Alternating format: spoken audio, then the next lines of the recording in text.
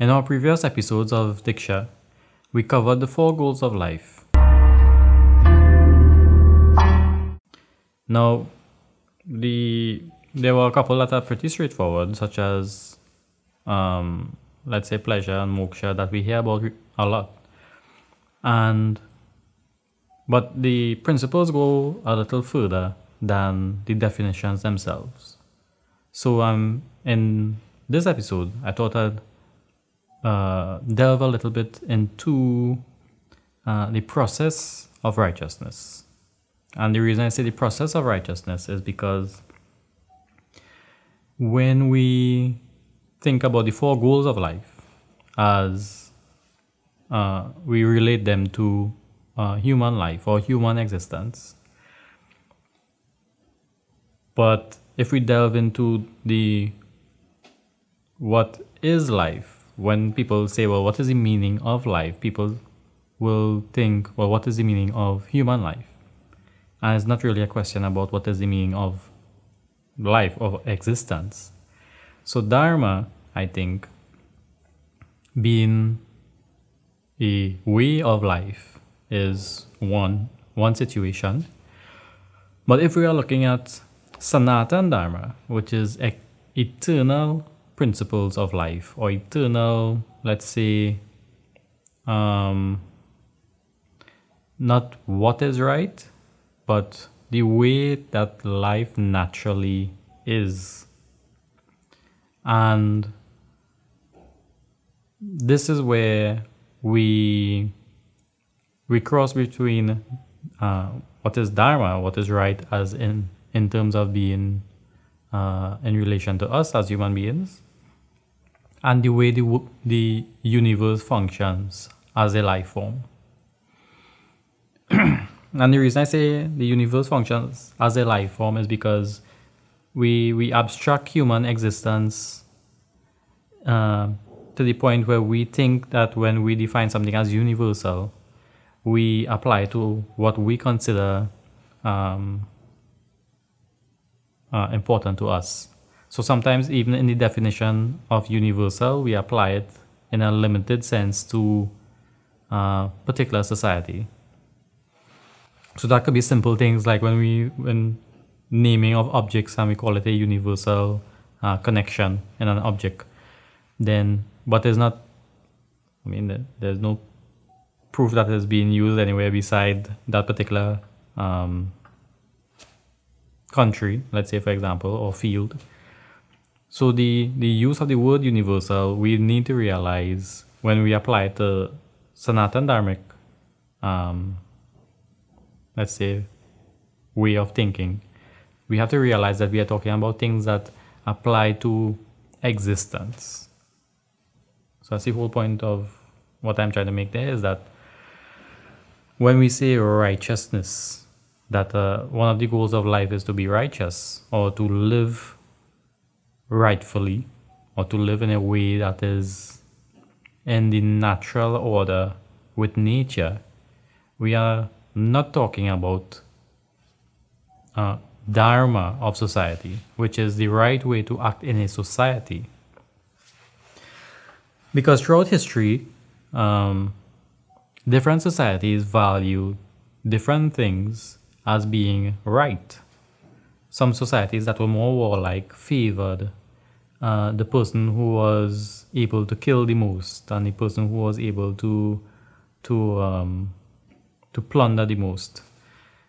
Some societies favored uh, in righteous living uh, high intellects and debates like the Greek and the Roman uh, empires. So, and even like the Mughal empires, for example, they were very warlike people. So they value of righteous conduct or right conduct was somebody who could be a good general in the army and who could plunder and and and just be a killer. So we have to realize that right conduct or dharma is social and eternal right conduct or sanatan dharma is the natural way of nature. And natural means it is beyond the influence of humans.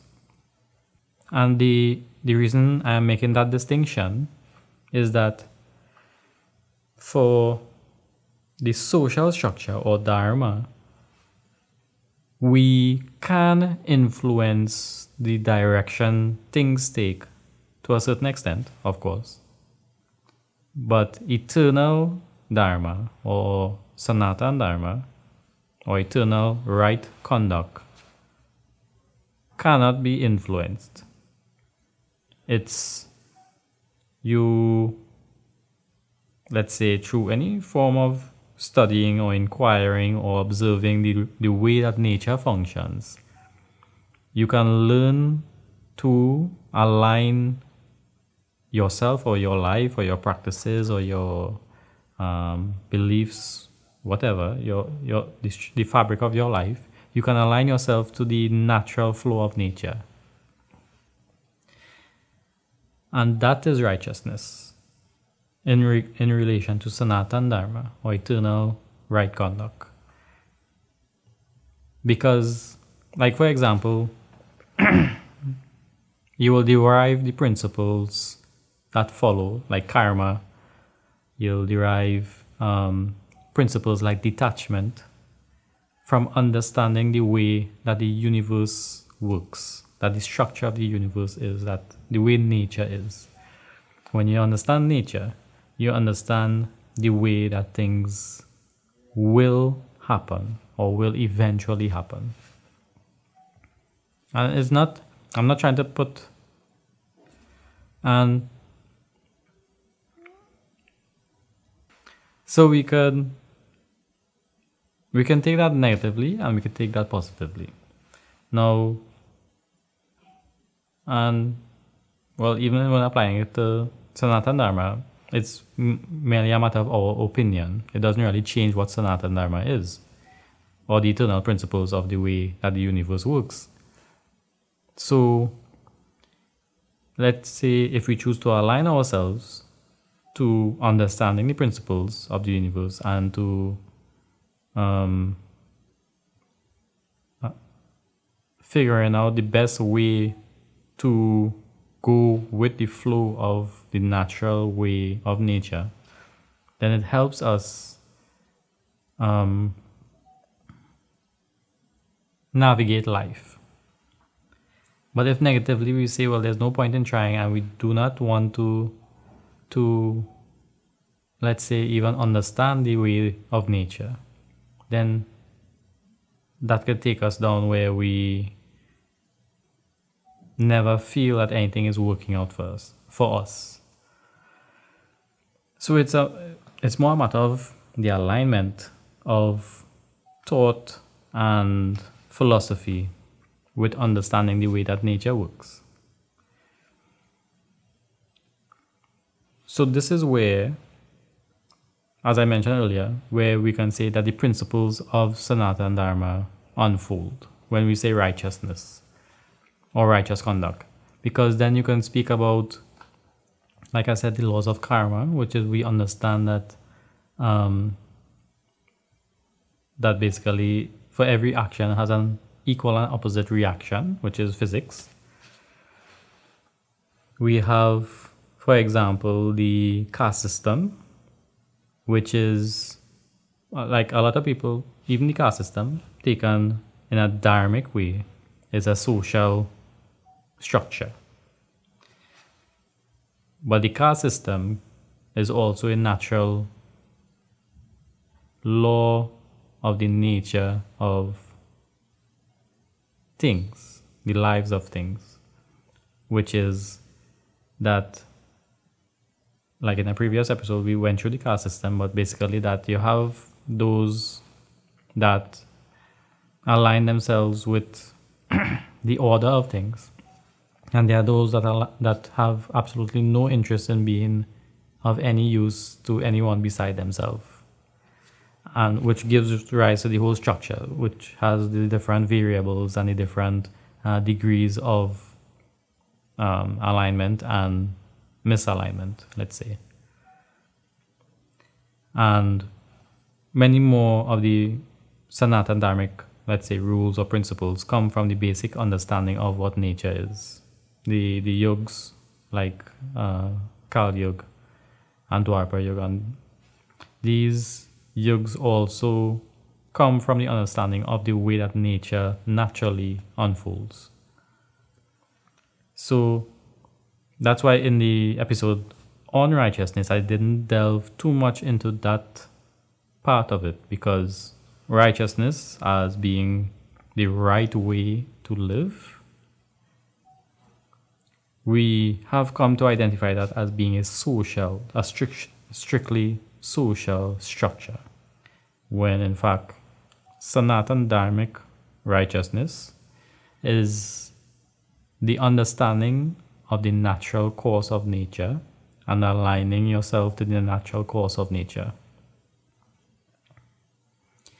And in that definition, there is no clear cut right or wrong in terms of, um, let's say, conduct. Those are structural, social dharmic principles.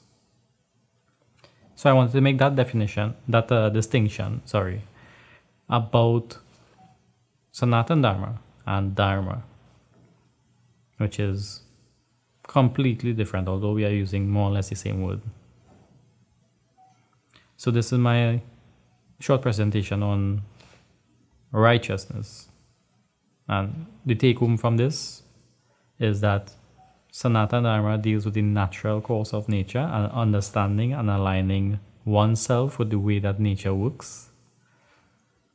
And Dharma is a social structure which is a miniature is a scale miniature scale model of Sanatana Dharma, but it is a changing system. So Thank you for joining me today on my presentation on righteousness. And I invite you to join me next Thursday as we sit and discuss and uh, I share some ideas on the Sanatan Dharmic principles or the eternal principles of nature. So this is Omkar saying thank you for joining me on Diksha and I'll see you next time.